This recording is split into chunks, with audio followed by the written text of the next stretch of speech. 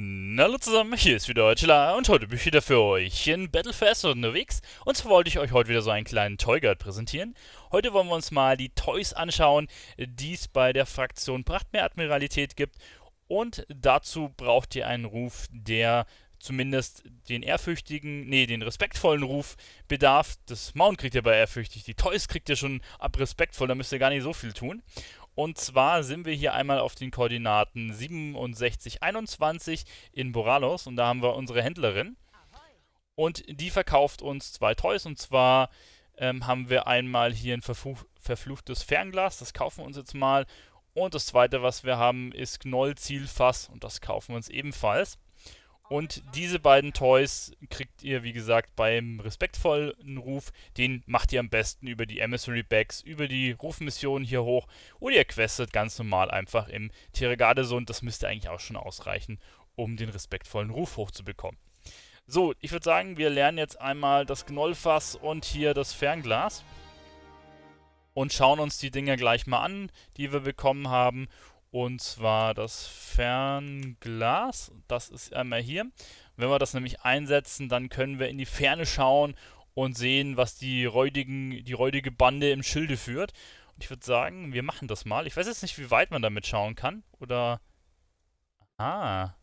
Das ist gar, gar nicht so schlecht. Also dahinter, zu dem, zu dem Berg, den man vorher ähm, kaum gesehen haben, sehen wir jetzt relativ gut. Ach ja, das kann sogar vielleicht mal von Nutzen sein, wenn man irgendwelche Mobs campt, Rares, die weit auseinander stehen und man gucken will, ob Mobs da sind. Es hat 15 Minuten Abklingzeit, Hälfte 5 Minuten, ja, ist jetzt nicht so schlecht. Wenn ich jetzt mal das wegklicke und schaue, also wir sind schon relativ weit weg hiervon, da kann das Fernglas tatsächlich mal helfen. Die meisten Toys sind ja leider nicht von Nutzen. Das kann zumindest in einem gewissen Umfang von Nutzen sein. Und das zweite, was wir haben, ist dieses äh, Gnoll-Zielfass. Gnoll-Zielfass und zwar soll das anscheinend eine Zielertrappe sein und wir benutzen es einfach mal und stellen das mal hier hin. Und wir haben hier einen Gnoll auf einem Fass, der 123 ist und den greifen wir jetzt mal an hier. Also den kann man wirklich angreifen. Ob man das Ding in Instanzen stellen kann, äh, müsste ich mal ausprobieren und vielleicht irgendwelche Procs triggern. Es gibt ja Leute, die multidotten und kriegen dann irgendwelche Effekte davon und solche Sachen machen dann mehr Schaden aufs Main-Target.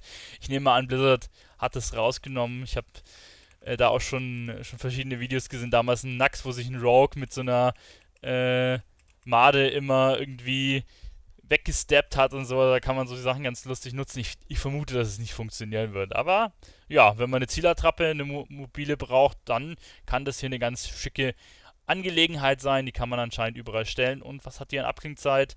Ähm, eine halbe Stunde. Hält, keine Ahnung wie lang.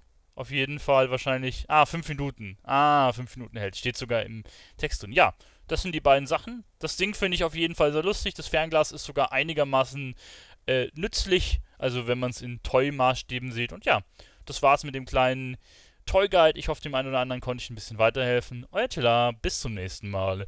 Ciao.